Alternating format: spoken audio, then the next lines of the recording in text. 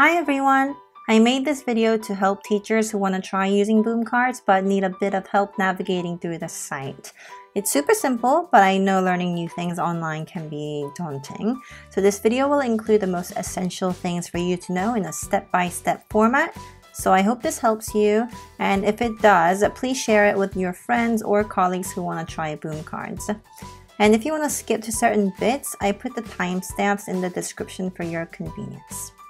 Right, so these are the things I'm going to show you today.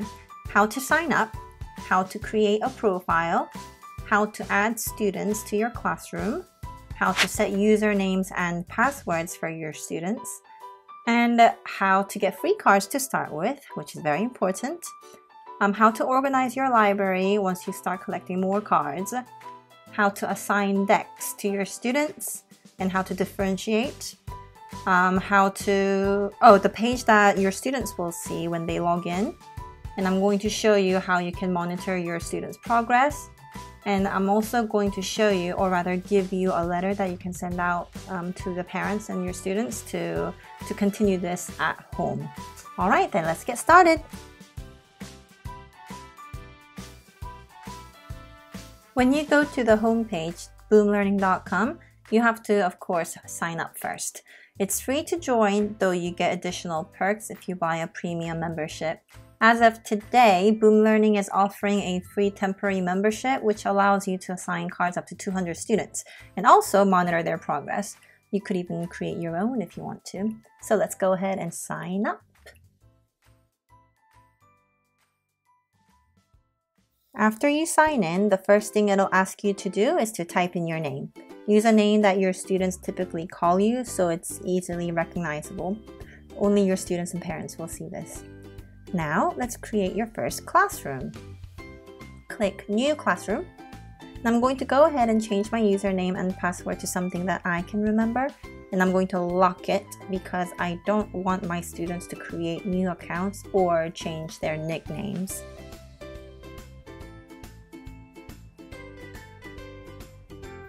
You might be a parent who just wants to add your own child, in which case you can click New Student.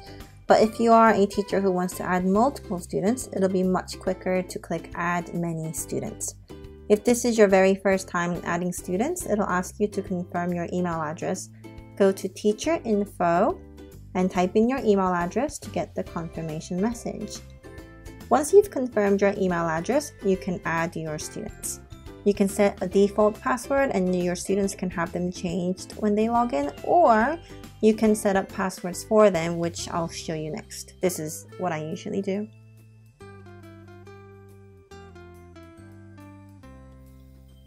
Now that you've added all of your students, you can set their usernames and passwords. I like to keep mine straightforward or memorable so that students don't forget easily. So here we are.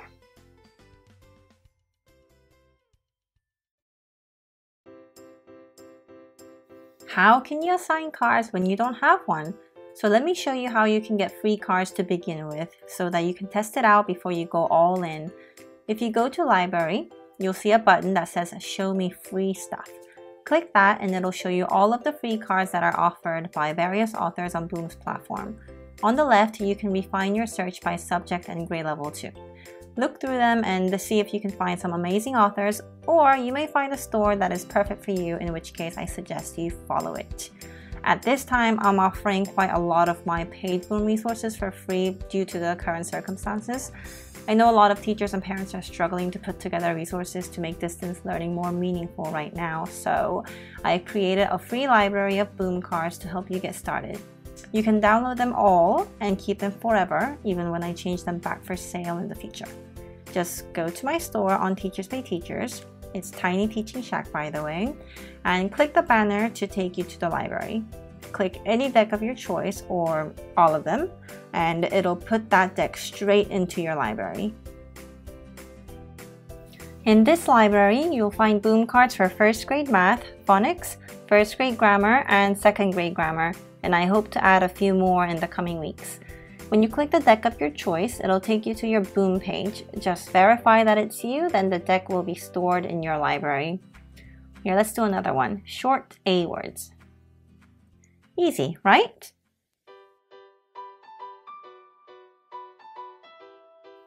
If you have many cards and your library begins to look disorganized, I advise you to put them into categories. In your library on the left side, you'll see folders. Click New Folder and you'll be able to categorize your cards which will make your life much easier once you start collecting more cards.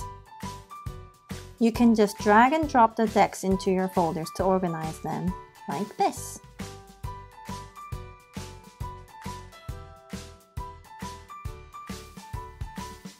Now that you've got some decks in your library, let's assign them to your students.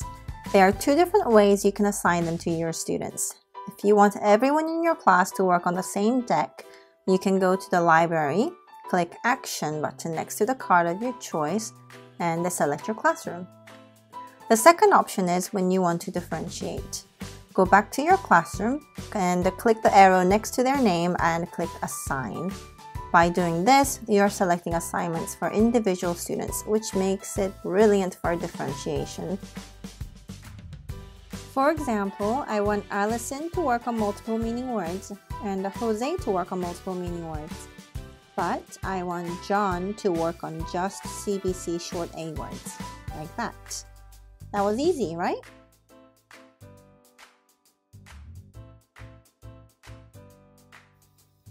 You must wonder what students will see when they log in, so let me show you an example. Look at Jose here. His username is Jose101 and password is Happy Hippo. Remember that? Do make a spreadsheet of everyone's usernames and passwords so you can keep track of them. Um, when students go to boomlearning.com, they'll click sign in and then click sign in with Boom. Type in the username Jose101 and the password. Remember, Happy Hippo. Now this is the page that Jose will see. You can see all of the decks I've assigned to him. He can change his avatar if he wants, which can be fun for the kids. And he can click any of the cards assigned to him and complete them at his own pace. On this page, it'll show a check mark if he has completed the deck. Let's say that Jose worked on 2D shapes. As you can see, boom cards are self-checking, so your students will know when they get their answers right or wrong. Once he's completed his cards, he'll get a green check mark to show that he's completed it. It also shows that he got 20 out of 24 questions right, and he can try it again if he wants.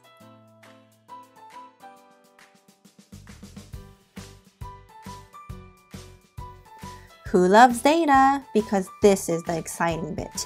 You can check on an individual student's progress by clicking the arrow next to their name and click Report. You can select the cards that your student has completed and check for its accuracy and the time spent on each question.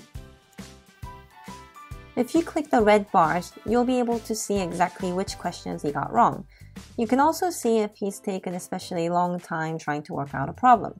All of this data will help you understand what your students need. Maybe they need a review or maybe they need something more challenging. If you want to get the overall class report on certain decks, click Reports at the top and choose the deck and the classroom. Because this is a big classroom, you can only see Jose's report, but normally you'll be able to see the full report of all of your students. You can print this page or export the file for your record. Teachers who use boom cards in their classroom definitely enjoy this feature because assessing becomes so quick and easy.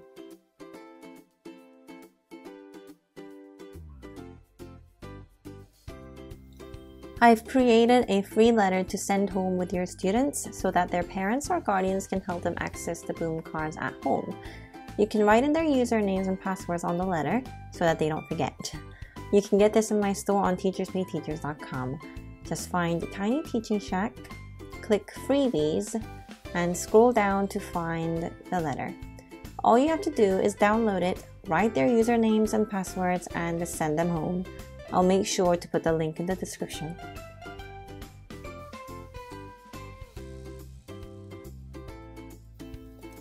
I hope that answered all of your questions about how to get started on Boom Learning.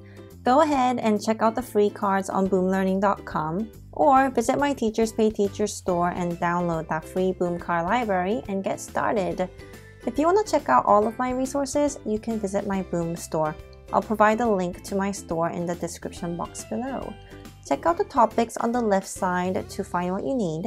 And most definitely check out the bundles because it's always cheaper to get the bundle than the individual decks. Good luck and have fun. Thanks for watching.